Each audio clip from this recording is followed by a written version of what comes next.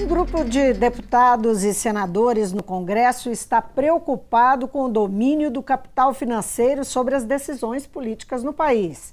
Esse grupo acaba de criar a Frente Mista em Defesa da Soberania Nacional.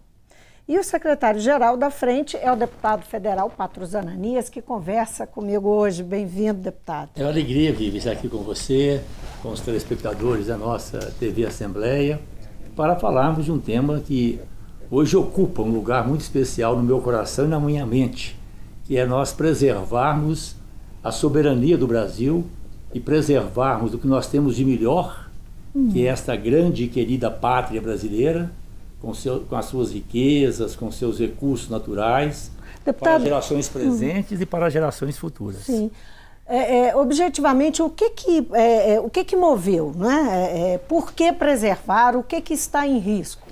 A leitura que nós estamos fazendo, Vivian, com base na realidade, em Brasília, na Câmara dos Deputados, no Senado, conversando também com senadores, o presidente da comissão, inclusive, é o senador Roberto Requião, eu fiquei como secretário-geral, conversando com parlamentares de diferentes partidos e pessoas, os movimentos sociais, pessoas ligadas às igrejas, universidades, movimentos sociais, há um sentimento claro de que o Brasil está entregue, está posto à venda por preço baixo. Quem oferece mais?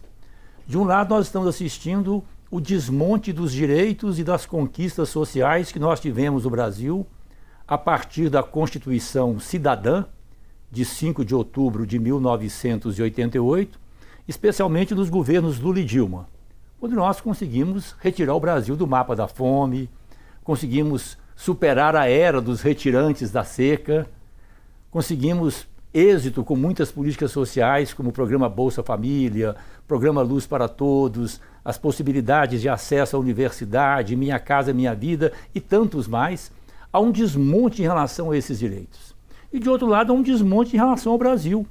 Essa emenda constitucional 95, que descaracteriza a Constituição, que foi a PEC 241, né, a proposta de emenda constitucional 241 na Câmara e 55 no Senado, infelizmente aprovada, congela o Brasil por 20 anos.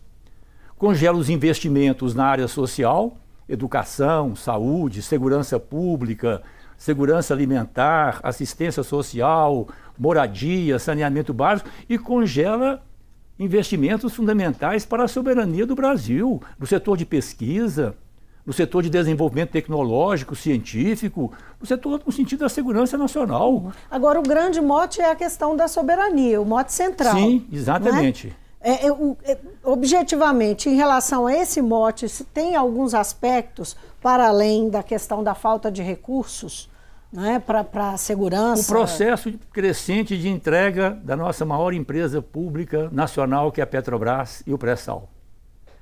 Não apresentaram ainda, mas falam com rola lá assim a meia voz dos corredores da Câmara que está estará que já está pronto um projeto que prevê a venda de terras para estrangeiros sem limites. É, isso vem sendo noticiado, noticiado há, há tempo. muito tempo. Né? Eles estão buscando um momento mais adequado. Entrega, vende a terra sem limites. Com a terra vai a água, que hoje é um bem fundamental, os recursos naturais, o subsolo, a biodiversidade, as nossas riquezas relacionadas com o nosso ecossistema. Então, há uma, uma crescente fragilização em relação ao Banco do Brasil, que cumpre um papel fundamental no apoio à agricultura no país. Agora, o senhor acha que isso é um projeto? Sim, eu... Porque é, é, a gente ouvindo assim fica parecendo que é um projeto contra o país. Eu estou convencido. Né? Se você fragiliza uma instituição como o Banco do Brasil, vende um, um, uma Petrobras que, né? É, com, vende, com todos os problemas que, que nós tivemos, ela, ela é, é extremamente importante, né? terras, né? É, é um privilégio que é. nós brasileiros temos de ter terras é. e boas terras. Eu fico avaliando assim, não, as coisas não acontecem de graça. Nós vivemos numa sociedade onde temos interesses conflitantes, temos sobretudo os interesses econômicos. O grande papel do Estado democrático de direito é exatamente compor esses interesses, proteger os interesses nacionais, proteger os mais pobres, os economicamente mais fracos, buscar um equilíbrio. A avaliação que eu faço, estudando, estudando a história do Brasil, o momento presente, conversando muito com outras pessoas, buscando a compreensão mais alargada do momento que nós estamos vivendo, a compreensão que eu estou tendo é que nós tivemos um golpe, um golpe que foi afrontado à Constituição, a serviço dos interesses do grande capital, do grande capital internacional, do capital financeiro, transnacionais e os seus históricos serviçais do Brasil que infelizmente nós temos uma parcela da nossa elite brasileira, uma parcela da nossa burguesia, vamos ressaltar aí as exceções, preservar as boas exceções, mas uma boa parte, se não a maioria, das elites, das classes dominantes do Brasil, são apátridas. Não tem nenhum sentimento de pertencimento, de compromisso com o Brasil. São os herdeiros diretos da Casa Grande, da escravidão, e nunca fizeram uma opção clara né, por um projeto de nação, pelo projeto do Brasil. Então, e vejo também, eu, é com pesar que eu constato isso, mas estou chegando a uma conclusão cada vez mais visível para mim, que tem interesses de grandes nações, de nações poderosas, às quais não me interessa que o Brasil se afirme como uma nação soberana, independente, economicamente forte, desenvolvida, socialmente justa, saudável do ponto de vista ambiental, uma nação titular da sua história, do seu destino. Isso não que interessa. Que tem algum fato que, que, chama atenção nesse sentido, que corrobora tem. com o que o senhor está dizendo? A, a, a, política externa brasileira, especialmente no governo do presidente Lula, o ministro Celso Amorim, os BRICS, a nossa política de integração latino-americana, a nossa política em relação à África, nós voltamos para as nossas raízes e origens africanas.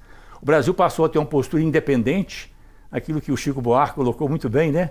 um país que passou a falar com ternura e respeito com a Bolívia e com altivez com os Estados Unidos. Né? Então eu penso que é muito claro que os interesses dos Estados Unidos conflitam com a possibilidade de ter aqui no sul do continente um país independente, Quer dizer, eles sempre aprenderam a olhar para nós. É, que tem potencial de liderança um país, forte um país continental, pode ameaçar os claro, interesses. Um país continental, um país continental com mais de 200 milhões de habitantes. Hum. Um país que pode produzir o ano inteiro Agora, condições essas, climáticas essa, favoráveis. Esse tipo de política, ela, ela nunca está na superfície, é, não, não é? Não. O, o, a gente aprende também na história. Tem uma, uma passagem na história da, da, do general de Gaulle, francês e tal. Um dia, general, na reunião do ministério, o ministro do, do De Gaulle era Couve de Merville, o nome dele, ministro das Relações Exteriores. Aí o Couve de Merville falou assim, porque as nações amigas, presidente, aí o De Gaulle interrompeu e falou, ministro, não existem nações amigas, as nações têm interesses. As nações têm interesses. Claro que esses interesses, assim como os interesses econômicos, eles podem ser ajustados numa política internacional sensata, de diálogo, mas as nações têm interesses. Então, interessa ao grande capital, por exemplo, que o Brasil continue sendo um país dependente.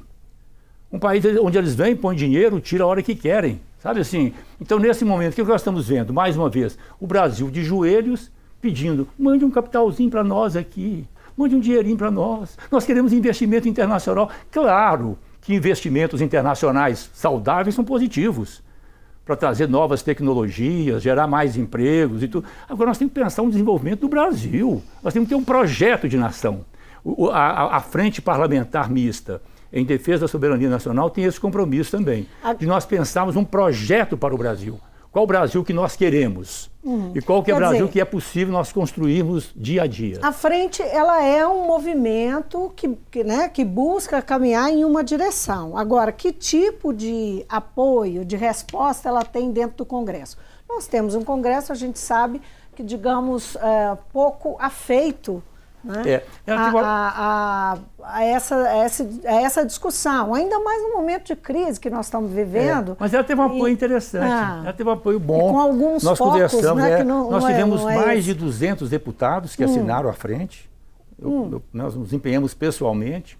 Tivemos dezenas de senadores, se não me falar a memória, em torno de aproximadamente 40 senadores. Uai, então, numericamente. Não, foi bom. Tá... O lançamento da frente foi muito bom, com a presença de vários parlamentares, de vários partidos muitos representantes dos movimentos sociais, inclusive da, da CNBB, da Conferência Nacional dos Bispos do Brasil.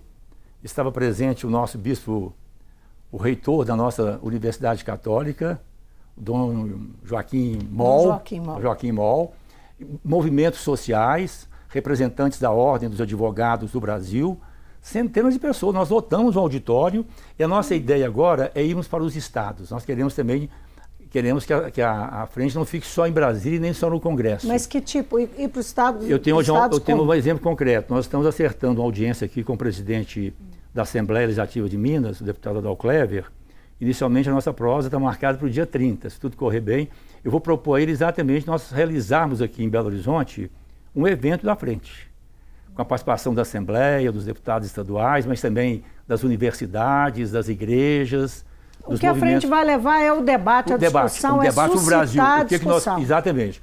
Discutir a soberania nacional, a proteção do Brasil. Por exemplo, tem notícias muito ruins com relação, por exemplo, à base de Alcântara. Né? Como, Estão como... falando, por exemplo, de ações integradas, ações do, da, das Forças Armadas Brasileiras na Amazônia, com a participação direta das forças dos Estados Unidos. Acho que o país tem que se preservar. Mas isso ainda não está em é. nível é. de informação. Não, mas são, é, são sinais que parecem estar encontrando de... resistência nas próprias Forças Armadas. Setores das Forças Armadas nacionalistas, né, comprometidos com o país, estão resistindo. Mas há um esforço crescente dos setores entreguistas, né, daqueles que não têm nenhum projeto para o Brasil, de fazer essas concessões. É aquela elite que eu falo sempre, sabe? Que se pudesse, tem uma parcela da elite brasileira que eu falo isso com tristeza, mas tem que constatar tem uma parcela da elite brasileira, inclusive com muita presença na mídia. Essa, se pudessem, eles colocariam o Brasil como uma boa colônia dos Estados Unidos. A paixão deles não está aqui no Brasil, está fora do Brasil. E nós precisamos criar um sentimento de brasilidade, de amor e de compromisso com o Brasil. E isso não nos corta a questão internacional, não. Eu lembro muito do Tolstói, o grande escritor russo, que ele dizia: se você quer fazer uma obra universal, escreva a sua, a sua aldeia. Se nós queremos dar uma contribuição ao mundo, e nós queremos, né, a paz mundial, um planeta mais seguro, mais acolhedor, o primeiro passo que nós temos que fazer é criar as condições para que o Brasil, desenvolvido, soberano, possa aportar essa contribuição à civilização mundial. Agora, é, essa frente vem exatamente num contexto de um governo é, que tem um projeto diferente do senhor, Sim. é oposição a esse governo, e esse grupo que integra essa frente, muito provavelmente, compõe essa essa oposição dentro do Congresso, não é? O, o, como é que essa, essa frente pretende trabalhar com, é, é, especialmente, é, o senhor disse que teve 200 assinaturas, dezenas de senadores, 200 assinaturas dos deputados. deputados é. mas será que eles vão, a, a, nos seus estados, trabalhar, não, não, colaborar? Não, esses todos Porque, não. Com sim, certeza não, mas uma boa porque parte. Eu estou pensando aqui no contexto, é. né? Nós temos um, um, problemas, digamos, urgentes para o mundo da política e o, o mundo dos políticos, que, que é a, a situação né, acossados pela Lava Jato, é, com reformas para aprovar, que eles estão com foco em outras coisas. Isso não é. atrapalha não, uma, uma, evolução não, desse com trabalho? Com relação à frente, ela teve um grande apoio de assinaturas, teve um grande apoio de presenças no dia em que ela foi lançada em Brasília, na semana passada. É, nós vamos ter os vice-presidentes regionais, Norte, Nordeste, Centro-Oeste, Sudeste, Sul do Brasil. Vamos incorporar partidos diferentes, já acertamos a participação do PMDB, inclusive o presidente do PMDB, o senador Requião, e também o, o deputado Celso Pancera vai ser o coordenador é, no Sudeste. Já acertamos a participação do PCdoB com a senadora Vanessa Grazioni, Graziotti na Amazônia. Uhum. O deputado Odorico, do PSB, será o coordenador no Nordeste. Temos um deputado Mota, deputado Mota, que é do PDT, que vai ser o coordenador no Rio Grande do Sul. Vamos definir agora o coordenador na região Centro-Oeste. Então, uhum. nossa ideia é descentralizar e, sobretudo, buscarmos uma relação também com a sociedade. Isso pode pautar as eleições do ano que vem, pode, esse assunto? Eu penso que é um papel importante. Eu, eu penso que a, a, frente vai dar um papel, vai, dar um, vai contribuir para um debate mais vigoroso nas eleições do ano que vem. A frente não é partidária. Eu já disse aqui, tem pessoas de vários partidos participando. Hum. PT, PSOL, o secretário que trabalha comigo, o deputado Glauber do Rio de Janeiro, do PSOL, PMDB, PCdoB, PDT, Rede, tem várias, vários parlamentares de diferentes partidos participando. Então ela é suprapartidária. E queremos que ela vá além também do Congresso, envolvendo cada vez mais a sociedade brasileira, juventude, universidades, igrejas, movimentos sociais, e queremos que seja uma frente de debate sobre o Brasil. Nós temos que sair um pouco desse lugar comum que nós estamos debatendo. Claro que não podemos esquecer o momento hoje, aqui e agora, hum. mas nós temos, que, nós temos que pensar um projeto para o país, o Brasil que nós queremos. Mas é, então, a gente fala que... disso é porque, na verdade, o país está aqui, né? Sim, exato. É, nós a impressão é que uh, uh, o, o, mundo político está, uh, enfim, perdendo as, as forças e, e, e, nós estamos... submergindo. E, e, pensar o futuro nessa situação é complicado. Não, mas nós temos que pensar, né? Nós temos que pensar. Quer dizer, o Brasil não vai acabar agora, né? mas nós vamos superar essa crise. Né? O, o país tem que ser pensado estrategicamente. Então nós estamos hoje com a frente, primeiro, é preservar a soberania nacional, os interesses nacionais, e aí é ser muito claro mesmo. Né? O Brasil tem fronteiras, o Brasil tem um território enorme, riquíssimo, água, recursos naturais, numa era de conflitos. Aí nós temos que discutir, sim, a, a defesa nacional, inclusive o aparelhamento adequado das nossas forças armadas para que elas possam, em caso de necessidade, defender o nosso país e o nosso povo. Agora, defendemos, pensarmos também um projeto. Que Brasil que nós queremos. Eu tenho algumas ideias, Viva, assim, que eu quero colocar e vou hum. discutir na sociedade, dentro da frente. Por exemplo, eu penso que nós tivemos, nos últimos anos no Brasil, já mencionei aqui, conquistas extraordinárias. Mas eu penso que nós temos ainda alguns desafios. Por exemplo, com todos os avanços sociais que nós tivemos no Brasil, a leitura que eu faço do nosso país é que nós temos ainda um capitalismo selvagem no Brasil. Nós precisamos disciplinar o capitalismo brasileiro em nome do, de um projeto nacional. Nós vamos, nós vamos defender, vamos aceitar bem o direito de propriedade, a economia de mercado, a livre iniciativa, mas vamos subordiná-los as exigências superiores do projeto nacional, do interesse do Brasil, do bem comum, do direito à vida. Nós temos que colocar como uma pauta fundamental no Brasil nós preservarmos a vida de cada brasileira, de cada brasileiro. O Brasil hoje está com índices de violência inaceitáveis, de homicídios, de acidentes de trânsito. Que superam guerras, né? Guerras suíças. Então eu penso que toda essa temática, qual o Brasil que nós queremos? Eu, eu uhum. penso também, avançando um pouquinho, que para fazermos, disciplinarmos esse capitalismo no Brasil, nós precisamos fazer três reformas que todos os países capitalistas, social-democratas fizeram. A reforma agrária, a reforma urbana e a reforma tributária, na perspectiva de tornarmos realidade o princípio constitucional da função social da propriedade das riquezas. Agora, deputado, eu vejo o senhor falando, né, pensando no futuro, Isso. projetando o futuro, cheio de esperança, nós não vamos ficar parados, vamos, vamos em frente, o país não claro. vai parar e tal. Mas o que a gente vê neste momento não tem como eu não contrapor né, com, com, com essa questão. A gente vê é o país muito imobilizado diante de uma crise terrível. O país que eu digo, a não, própria população. Claro.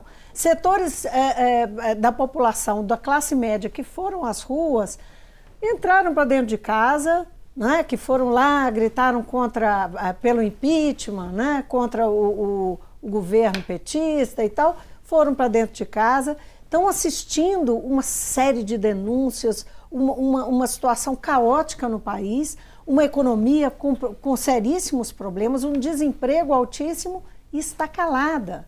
Né? Ah, ah, o que, que o senhor acha? O que, que justifica Não, eu, isso? Eu consigo... É desesperança? É, é, enfim, é indignação? É. é. o quê? Não, é claro que a gente tem que ver também o, o, os sinais positivos em todos os uhum. momentos. Né? Mas eu sou de uma geração, Vivian, que lutou contra a ditadura. Nós estamos vivendo no Brasil hoje um momento muito ruim. Não tem dúvida com relação a isso. Eu comecei dizendo isso.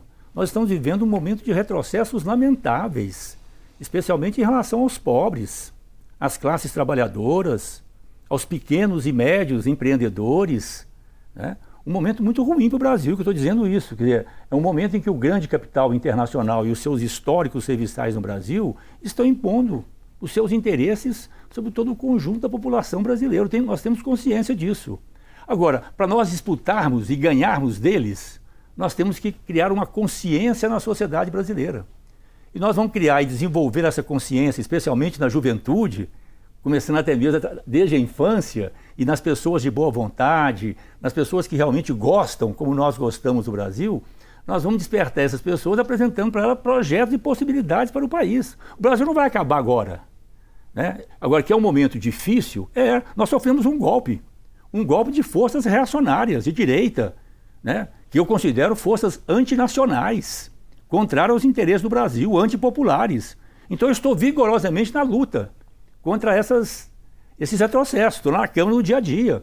Quando apareceu lá a PEC 241, que infelizmente virou emenda 95, eu procurei o, o deputado Zaratini. Que é o teto de gastos. Exatamente, eu procurei uhum. o deputado Zaratini ali do meu partido e falei, me põe nessa comissão aqui, ó. isso aqui é sério demais, eu quero... Eu fui para lá para fazer o enfrentamento. A mesma coisa eu fiz com relação à reforma trabalhista. Até pela minha história de advogado trabalhista, professor de direito do trabalho, participei ativamente. Estamos lá vigorosos na luta contra a reforma da Previdência e outros. E qual que é o palpite do senhor? Só para o telespectador que certamente quer saber o que, que, o senhor pensa. Essas reformas vão sair dado esse cenário aí? Está difícil, cada vez mais difícil para eles, porque está crescendo um sentimento na opinião pública, hum. as manifestações estão crescendo, tem uma greve geral proposta para o dia 30, os movimentos Mas, sociais. Você acha que está bem articulada essa greve? Tá... A gente não está ouvindo falar é, muito o, disso. O importante é que as coisas estão sendo debatidas. Né? Essa greve, temos... se ela for mais fraca que a outra, não vai ser um. A luta continua. Um, um certo luta... argumento. A, a luta continua. A luta não tem a rua contra ele? Não, a luta continua. É claro que nós queremos que seja um hum. grande momento, seja uma greve pacífica, democrática, não violenta, mas vigorosa, forte. Mas o fato é que é, é, um, é um momento na nossa luta. Nós estamos consolidando a Frente Brasil Popular, estamos integrando a Frente Brasil Popular com a Frente Povo Sem Medo. Teve uma reunião ótima em Brasília entre as duas frentes. Foi lançado também em Brasília, na mesma semana Você acha que, que tem uma, uma união de esquerda na mesma caminhando? semana Tem. Na mesma semana que nós lançamos a frente é, parlamentar em defesa da soberania nacional, foi lançada também uma frente parlamentar pelas diretas já, em defesa das eleições diretas, também com reunião de parlamentares de vários partidos, inclusive parlamentares de partidos que estão na base de sustentação do governo ilegítimo. É claro, nós sentimos cada dia, o governo está cada dia mais fragilizado, né, Viva, também. Quer dizer, o governo golpista do, do, do senhor Michel Temer, ele não faz outra coisa que não ser se defender. É, assim, as acusações em torno dele e, do, e, todo o seu esquema, todo o seu, quase todo o seu ministério, são cada vez mais graves. O, o ex-presidente então, Fernando Henrique Cardoso, que é do PSDB, é, é, partido que faz parte do governo Temer, né, é, publica nessa, na Folha de São Paulo, nessa segunda-feira, um, é, uma coluna em que ele defende que Temer é, é, saia do governo por conta própria né, e convoque eleições antecipadas aí de dá até um prazo, sugere um prazo de seis meses para que haja eleição antecipada e para que ele mesmo possa conduzir é, esse não, processo. O, o, que, que o senhor pensa não, dessa? É claro que o Brasil precisa sair dessa, dessa encrenca. Uhum. Né? Um governo que não governa, o presidente da República não pode aparecer em nenhum lugar do Brasil. 5, 6% de aprovação. Né? Uhum. Acusações gravíssimas contra ele. Eu não sou advogado, eu sou, como eu sou advogado, eu tenho muito cuidado de não ficar fazendo acusações. Uhum. Eu aprendi na faculdade de direito, ó, antes de fazer, tem que conhecer o processo. Então eu não gosto de ficar muito fazendo. E hoje em dia não estão muito. As pessoas estão muito preocupadas exatamente. com isso, não, Então né? tem um certo cuidado com isso. Mas pelo que a gente está vendo pela imprensa, as notícias, ele está cada vez mais sitiado. Sem possibilidade de governar o Brasil. Então, mais dia, menos dia, isso vai se resolver. O que nós estamos defendendo, aí foi uma decisão tomada, inclusive, pelo PT no seu último congresso, nós estamos defendendo eleições gerais. Hum, né? Que, que coincide Exa com coincide, o que exatamente, Fernando Henrique é, fala. Eu acho que numa situação de crise como essa, o melhor caminho que nós temos é convocar o povo brasileiro. É colocar em prática o princípio constitucional fundamental da soberania popular. A soberania do nosso país, a soberania nacional que nós estamos defendendo, tem, tem a ver também com a soberania popular né? o povo como sendo a fonte maior do poder. Então, numa situação de crise como essa, é uma crise grave, é uma crise política, econômica, social, ética, moral, é uma crise que está se espalhando pelo país, né? é uma crise das instituições. Então, num momento como esse, em que o país, para lembrar o saudoso Darcy Ribeiro, a expressão do Darcy, no momento em que o país precisa ser passado a limpo, eu penso que o primeiro passo é nós chamarmos o povo brasileiro para que o povo brasileiro comece a definir os rumos e o futuro do país. E o povo brasileiro tem que responder. Né? Sim. Que sempre Boa respondeu sorte. bem historicamente, né? Sempre respondeu. O povo brasileiro sempre chamado nas horas mais graves do país, aponta o caminho. Né? Então, boa sorte para o senhor e para frente, né? em defesa da soberania popular, frente parlamentar mista em defesa da soberania popular que está começando a trabalhar. Exatamente. Vai rodar o país. Tá. Muito obrigado, Muito obrigado Um abraço afetuoso também para os telespectadores.